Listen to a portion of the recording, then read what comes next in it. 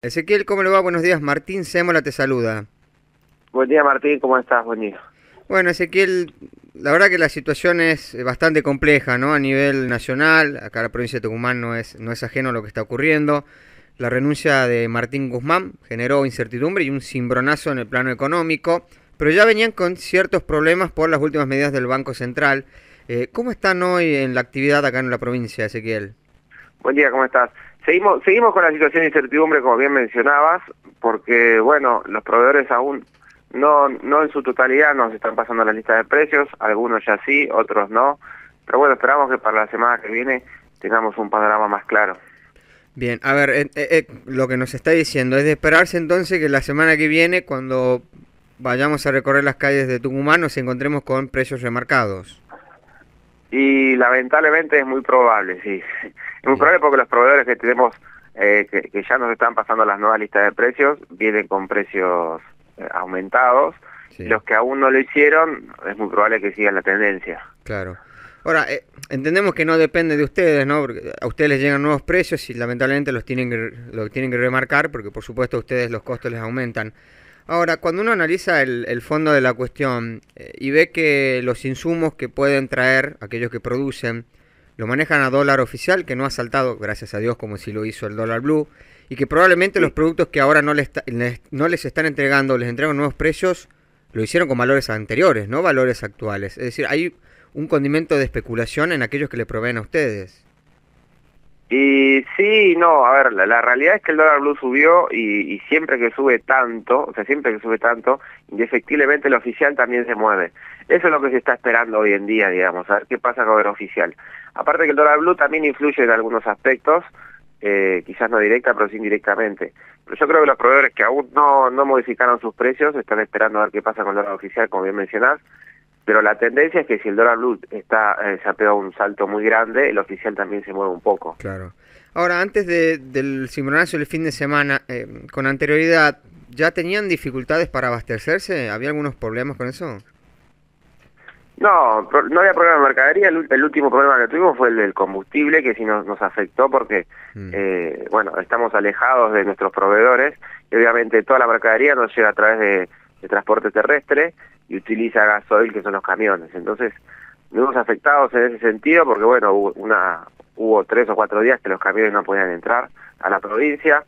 Sumado a eso que, bueno, eh, Tucumán creo que fue una de las primeras provincias que, presentó desabastecimiento de gasoil. Y bueno, los camioneros cuando venían me preguntaban, ahí tenemos camión para cargar, digo, perdón, gasoil para cargar y, y no había. Pero bueno, en otras provincias sí había y pudieron llegar. Lo que sí se vio afectado casi inmediato fue el precio del transporte. Claro. Claro, claro. Y en cuanto, bueno, recién nos hablaba de la nueva lista de precios. Eh, ¿Hoy tienen stock los, los comercios? ¿Están con stock o también están con problemas allí? Eso es una cuestión muy particular de cada comercio, de su estructura, de su tamaño, de su forma de trabajo. Algunos comercios sí tienen stock y otros no. También depende del rubro que tenga, es el, grado de rotación que tiene y la necesidad de recibir mercadería a diario, semanalmente quincenalmente. O sea que eso es un poquito variado. Eh, yo creo que por esta semana no, no podemos decir que hay falta de stock porque, bueno, fueron unos días. La semana que viene, si no se normaliza la situación, se podría llegar a empezar a haber falta de stock. Claro, lo, escuchaba en una nota que brindaba de la Cámara de Argentina de Comercio, Mario Greenman, eh, básicamente que decía, estamos suspendiendo las ventas por esta sensación o esta incertidumbre que hay, con las expectativas de darle el beneficio de la duda a Batakis. Eh, ¿Qué creen que puede ocurrir, por lo menos en, el, en lo inmediato, con la asunción de la nueva ministra, Ezequiel. Y a la espera de un plan económico que, que, presente tranquilidad al mercado. O sea, cuando manifieste sus intenciones, el mercado va a tomar postura y se va a, posicionar en, un punto y, suponemos que va a haber una estabilidad, al menos momentáneamente.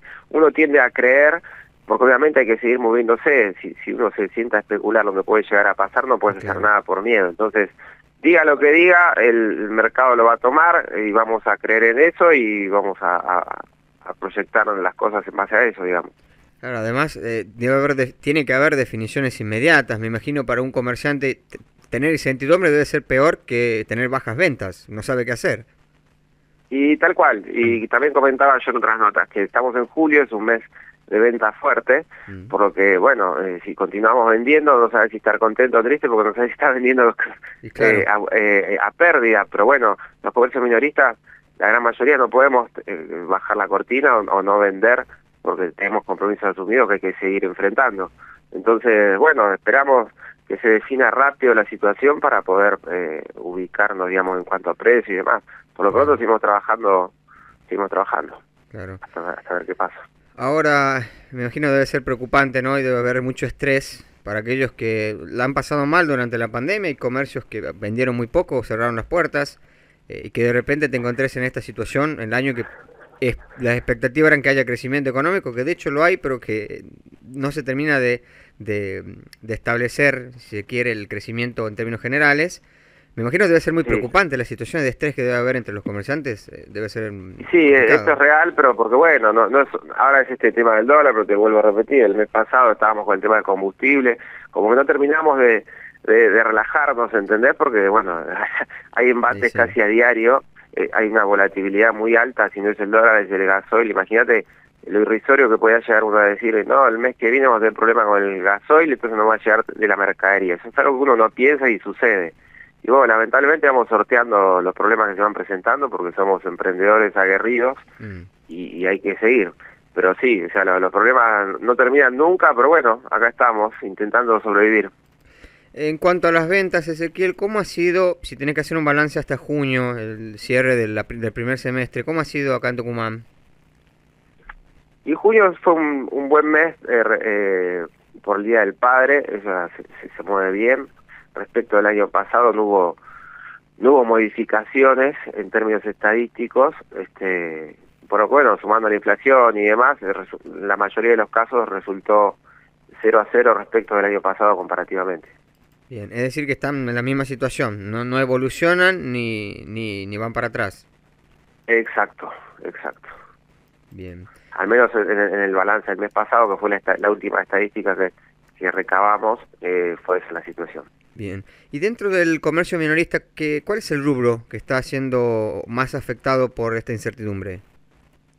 No, la verdad es que todos, la verdad es que todos, obviamente los que tienen electrodomésticos y, materiales, o sea, y mercadería importada en su totalidad o, muy afectada de importación, es la de mayor incertidumbre porque los importadores son los que tienen más, más resguardada la mercadería ante estas situaciones. Entonces, ellos obviamente, y, aparte los precios que manejan y márgenes no tan grandes, eh, los expone ante, ante mayores pérdidas, digamos.